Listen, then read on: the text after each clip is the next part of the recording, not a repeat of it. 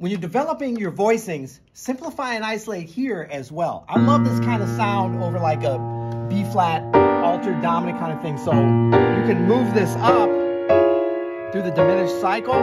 It's just a B flat 13, flat 9, and then I'm going up a half step. That's a great sound. But if you just shift this D up to an E flat, you get a totally different sound. And then you can still go back to the original there.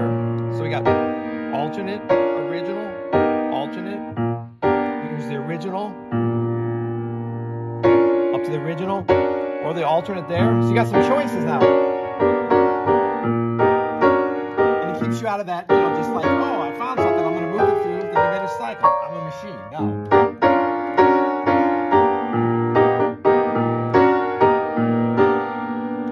Happy practicing.